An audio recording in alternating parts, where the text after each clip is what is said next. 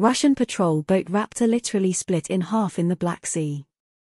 Raptor patrol boats are a series of Russian high-speed coastal patrol boats.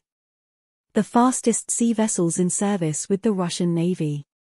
The project was developed by the Design Bureau Leningrad Shipbuilding Plant Pella. Boats are being built at the Pella shipyard in the city of Vidradny, Leningrad region.